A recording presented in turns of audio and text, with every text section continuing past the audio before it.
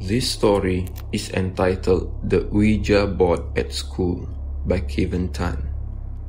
This incident, which took place more than 20 years ago, was shared by a friend. My friend's sister was playing the Ouija board, and their mischief caused some trouble for the school. A bit of background first. Our school has a tradition of painting murals all over the school compound. Even the toilets were painted with murals. Our second floor toilet at the main building was painted with a mural of a tropical island with sandy beaches and coconut trees. So the story goes that my friend's sister was playing with their makeshift Ouija board inside that toilet. They were careful to have both toilet doors closed to prevent themselves from getting caught by teachers. During the summoning of the entity, they heard the sound of high heels clicking down the hallway.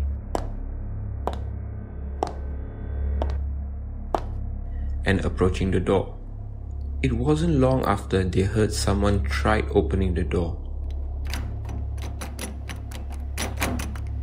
The girls knew it must be a teacher since it was the sound of heels. Being in a state of panic, they let go of the coin without sending the entity back properly. Her sister saw a shadow flew past her and went into the coconut tree of the mural. They didn't get into any trouble since they quickly shred the Ouija board and opened the door for the teacher. However, strange things started to happen later. Some students reported sighting of faces in the coconuts. As more and more students reported the sightings, the school engaged a pastor to perform an exorcism. The mural was hacked away instead of being painted over. A year went by, and my friend, a member of the art club, was tasked with painting a new mural for that toilet. The theme was Seven Wonders of the World.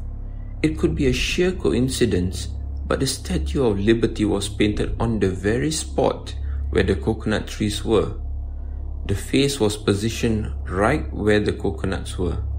I did hear some rumors that some students felt that the face looks like she's crying. Although it is known that some students would play the Ouija in the toilet.